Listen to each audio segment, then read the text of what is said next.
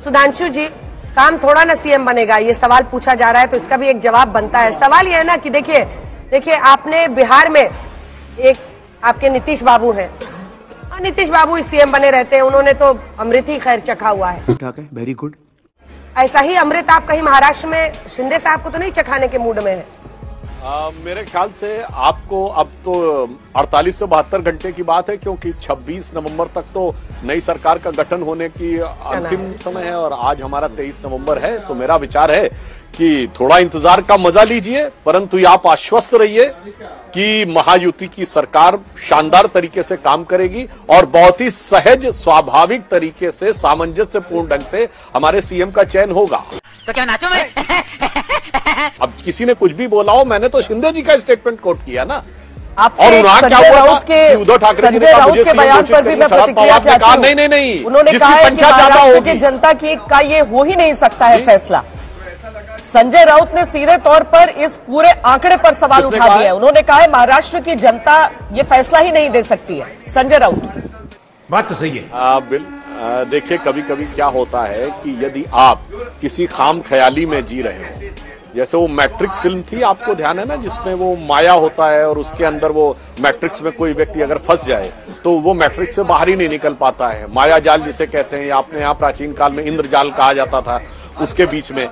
अच्छा हमको सिखा रिया है। झार झारखंड में आपका राउट हुआ या नहीं हुआ? झारखंड में क्या हुआ? क्योंकि झारखंड के अंदर लोकसभा के चुनाव में आपका परफॉर्मेंस आप- जेएमएम से बहुत बेहतर था। अच्छा- राज्य विधान- विधानसभा में क्यों प्रॉब्लम हो गई। सोरेन का शोर शोर हो गया। हाँ, सुपर सोर। सुपर शोर वैसे आ, वैसे आशुतोष जी अभी भी जो संख्या दिखाई जा रही है पचास और अट्ठाईस है। तो ये राउट नहीं होता है 222 और चौवन क्या होता है? सोच लीजिए और अभी शायद हो सकता है। तक ईमानदारी स्वीकार कर मैं गंभीरता से सवाल ये कर रहा हूँ। जी हमारे साथ जुड़ गई हैं और तनुज खत्री जी हमारे साथ जुड़ गए हैं जो कि जेएमएम का पक्ष रखेंगे। ज़ाहिर तौर पर जेएमएम कांग्रेस की सरकार के लिए एक बहुत बड़ा इंडिया गठबंधन के लिए झारखंड में जीत है तो वैसे ही ज़बरदस्त झटका है ये महाराष्ट्र में। हम मालूम है तेरे बाप को मत सिखा चल।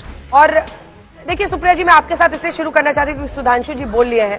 आपको बहुत बधाई। अगर यही रुझान नतीजों में तब्दील होते हैं झारखंड में तो बहुत अच्छी परफॉर्मेंस मतलब छप्पर फाड़ इकतालीस है क्लियर मैंडेट लेकिन महाराष्ट्र पर आते हुए देखिए आप लोग चुनाव आयोग पर कई सारे प्रश्न हर बार उठाते हैं चुनाव आयोग।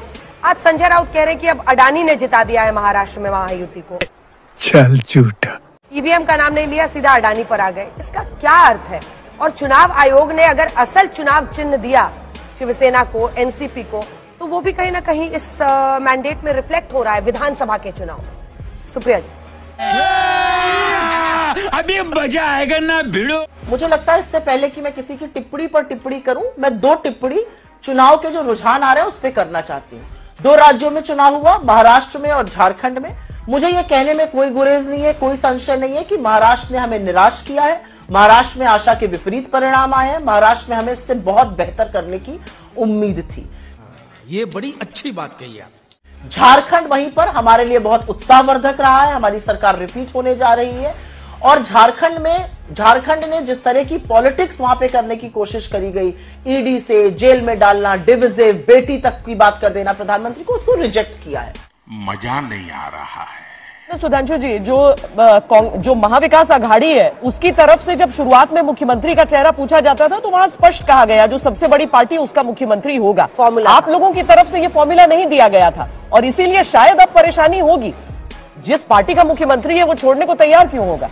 गुड क्वेश्चन नहीं जो आपने कहा मैं उसमें थोड़ा सा करेक्शन कर दूँ। ये जो फार्मूला दिया गया वो शरद पवार जी के द्वारा दिया गया था मगर तब दिया गया जब उद्धव ठाकरे जी ने कहा था कि उन्हें सीएम प्रोजेक्ट किया जाए। अरे झूठ बोल रहा है। ये झूठ बोल रहा है। तो उसकी प्रतिक्रिया में कहा गया था नहीं जिसकी सीटें ज़्यादा आएँगी वो होगा। यानी वहाँ शुरू से ही इस विषय को लेकर खींचातानी थी। जो आपने दावेदारी की बात कही आश्वस्त रही है हमारी साझेदारी इतनी मज़बूत है कि किसी भी प्रकार की दावेदारी उसके अंदर किसी भी प्रकार की समस्या नहीं उत्पन्न करने वाली है जो हमारे तीनों पार्टियों का शीर्ष नेतृत्व बैठ के सामंजस्य निर्णय लेगा। हमारी साझेदारी सामंजस्यपूर्ण है और इसमें किसी प्रकार की कोई समस्या आने वाली नहीं है। और एक और मैं कारण बता दू। बोल बोल।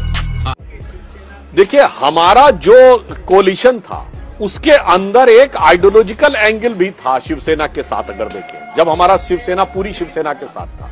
अब शिवसेना जब उधर गई तो तीनों पार्टियों में एक समस्या है कि उनके कार्यकर्ता मुझे लगता ज़मीन पे नहीं एक हो पाए। क्योंकि नेता तो एक हो गए व्यक्तिगत स्वार्थ में।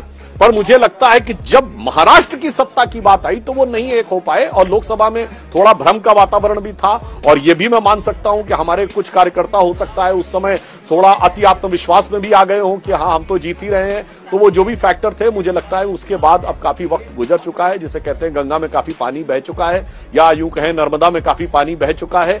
तो इसलिए अब मुझे लगता है कि अब वास्तविक स्थिति लोगों को समझ में आ रही है जिसे एक कहावत होती है कि काट की हांडी बार बार नहीं चढ़ती तो संभवतः अब हरियाणा के बाद इन चुनाव परिणामों से ऐसा ही कुछ प्रतीत हो रहा है। या कुछ न कुछ तो गड़बड़ ज़रूर है। प्रिया जी अब संजय राउत ने कह दिया तो बैलेट पेपर पर दोबारा चुनाव कराएँ। महाराष्ट्र का नतीजा जनमत का वोट नहीं है ऐसा परिणाम लागू नहीं किया जा सकता। सुप्रिया जी अ, सबसे पहले तो जो सुधांशु जी ने अभी बातें कही, मैं उस पर थोड़ी सी टिप्पणी करना चाहती हूँ। सुधांशु जी कहते कहते कह गए, महाराष्ट्र पर तो बहुत बोल गए। झारखंड में क्या हुआ सुधांशु जी? आपको तो एक, अपना अध्यक्ष भी इंपोर्ट करना पड़ गया। वो अध्यक्ष जो कहता था मोदी जी तो हिंदुस्तान को पाकिस्तान बना देंगे। बाबूलाल मरांडी जी। और असलियत ये भी है कि आपके खेमे में इतनी लड़ाई थी प्रधानमंत्री ने वहाँ जाकर बेटी तक का इन्वोक कर दिया था। मंगलसूत्र मुजरे की बात करते करते वहाँ पर बेटी की भी बात कर दी थी। अरे बाप रे ये तो धोती खोल रहा है। तो झारखंड में क्या हुआ? तो देखिए जो जीता वही सिकंदर वाले अगर हिसाब से आप चलेगा तो वो महाराष्ट्र की बात करेंगे हम झारखंड की बात करेंगे। लेकिन असलियत ये है कि जो स्लोगन इन्होंने देने की कोशिश करी बटेंगे तो कटेंगे ये नहीं चला है। वॉट जो चला है, वो महिला स्कीम है। हमारा अंडर असेसमेंट रहा महाराष्ट्र में। हमारे लिए उसने बेजोड़ काम किया झारखंड में। इनके लिए बेजोड़ काम किया महाराष्ट्र में। इसमें मुझे कुछ नहीं कहना जहाँ तक संजय राउत जी की टिप्पणी की बात है, बहुत सारी ऐसी बातें आएँगी, बहुत सारे ऐसे विचार आएँगे और मुझे ऐसा लगता है हिंदुस्तान का डेमोक्रेसी परिपक्व है और इन चीज़ों पर चर्चा होनी चाहिए।